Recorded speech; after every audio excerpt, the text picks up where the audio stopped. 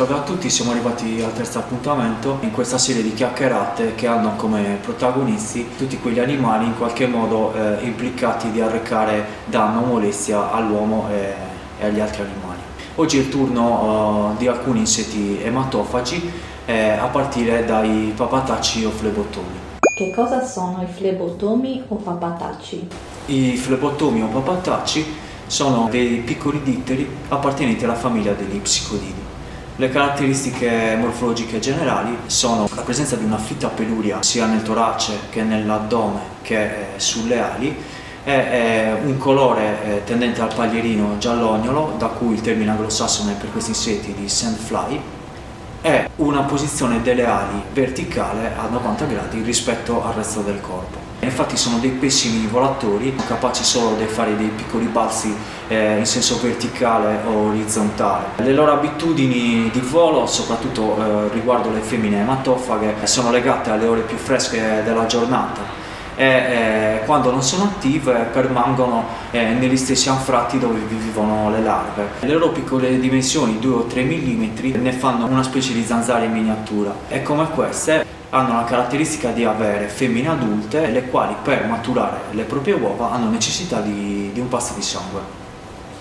Il pasto di sangue viene svolto sui diversi gruppi animali, non si ha eh, spesso una netta prevalenza fra questi e l'uomo, in ogni caso vi sono alcune specie alquanto moleste perché in grado di proliferare anche negli ambienti umani, soprattutto dove vi sono animali selvatici o domestici. L'apparato boccale dei papatacci è molto meno vistoso eh, rispetto a quello delle zanzare ma eh, si può chiaramente eh, definire come analogo nelle sue funzioni.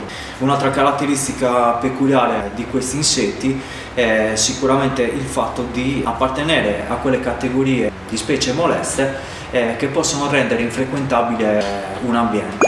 Il ciclo di sviluppo dei papatacci il ciclo di sviluppo di questi insetti si svolge in circa 50 giorni, come gli altri ditteri sono a metamorfosi completa per, per cui dopo eh, la deposizione delle uova da parte delle femmine si ha la schiusa degli stadi larvali. Una volta terminati gli stadi larvali gli adulti come detto sfarfallano, eh, si nutrono di, come le zanzare di sostanze zuccherine, nettare prodotto dai vegetali e poi dopo l'accoppiamento le femmine andranno a cercare gli ospiti da cui prelevare eh, il sangue necessario all'apporto proteico ai fini della maturazione delle uova.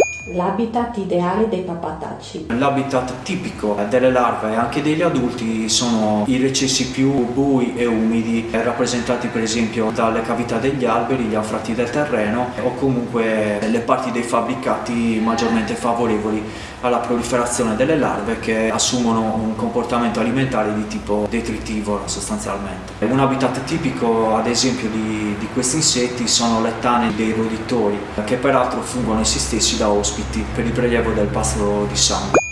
Le specie più importanti dal punto di vista sanitario. Le specie eh, più importanti dal punto di vista sanitario sono il eh, Phlebotomus eh, papatasi e il Phlebotomus perfilievi che per la loro abbondanza sono praticamente presenti su tutto il nostro territorio nazionale.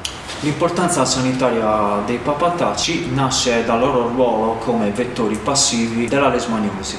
La lesmaniosi è una malattia endemica nell'uomo il cui serbatoio principale rimangono gli animali domestici e in particolare il cane. È proprio in quest'ultima specie che si manifesta più spesso questa patologia. Eh, I papataci sono proprio gli agenti di veicolazione eh, dei nematodi che determinano eh, la lesmaniosi. Si chiude qui il terzo appuntamento con le nostre chiacchierate su artropodi e altri animali molesti.